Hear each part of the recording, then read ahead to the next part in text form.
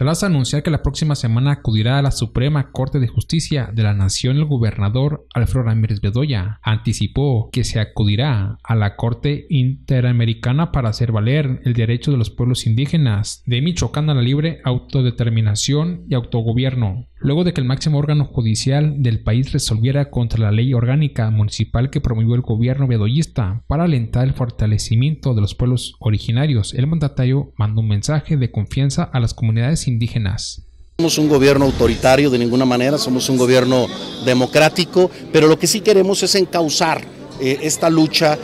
como se comentó hoy, para que tenga repercusión en una muy buena legislación en varios eh, temas que hacen falta legislar a nivel local y a nivel federal. Nosotros eh, ya estamos, eh, seguramente el lunes estaré en México, en la Suprema Corte de Justicia de la Nación, vamos a reunirnos también con Adelfo Regino, el director general del Instituto Nacional de Pueblos Indígenas, pero que quede claro, el gobernador Ramírez Bedoya está con las comunidades indígenas, es una convicción no de ahora, sino de siempre. Y saldremos adelante. Yo quiero mandar un mensaje de confianza a las comunidades de que esto es nada más eh, un pequeño tope en el camino, pero lo vamos a librar bien, este, pero necesitamos unidad también de las comunidades. Con imágenes de Alejandro Hernández, información Juan Pacheco, Cuadratina al aire.